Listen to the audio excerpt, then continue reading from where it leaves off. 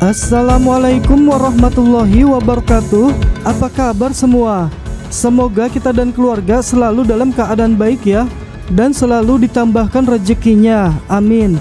Baik Sobat Youtube, pada kesempatan kali ini Saya akan berbagi informasi mengenai PKH hari ini.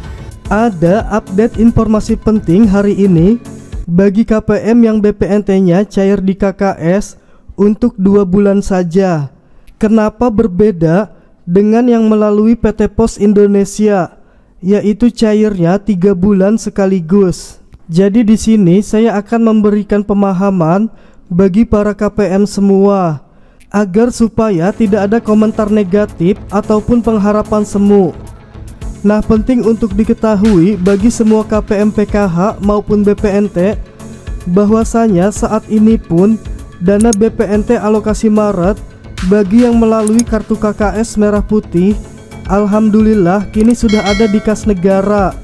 Namun belum sempat didistribusikan kepada KPM hingga saat ini. Hanya saja waktunya kapan masih belum ada surat resmi untuk disalurkan BPNT untuk alokasi bulan Maret. Bagi sebanyak 431 kabupaten atau kota yang dicairkan melalui kartu KKS. Nah yang kemarin itu kan BPNT-nya cair untuk alokasi Januari dan Februari saja. Dan setelah ini untuk alokasi bulan Maretnya. Dan perlu diketahui bagi semua KPM bahwasanya segala kemungkinan bisa saja terjadi. Antara lain yang pertama bisa jadi disalurkan di pertengahan Maret ini ataupun di akhir bulan Maret. Hingga cair semua hingga Hari Raya Idul Fitri dan cairnya Rp200.000. Yang kedua, bisa juga nanti akan dirapel dengan BPNT alokasi bulan April sehingga para KPM akan mendapatkan pencairan Rp400.000 yaitu bulan Maret dan bulan April. Yang kemungkinan cairnya di bulan April.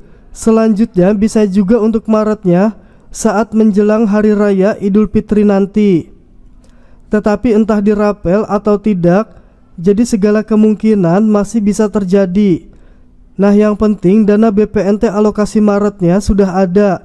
Tinggal KPM sabar menunggu kapan disalurkannya kepada para KPM semua. Jadi mohon bersabar dulu, tunggu informasi selanjutnya. Nah demikian tadi informasi PKH terbaru hari ini Semoga saja informasi ini dapat bermanfaat bagi kita semua Terima kasih atas perhatian teman-teman. Jangan lupa tekan tombol like-nya ya. Dan silahkan di-share di media sosial teman-teman Jika dirasa bermanfaat.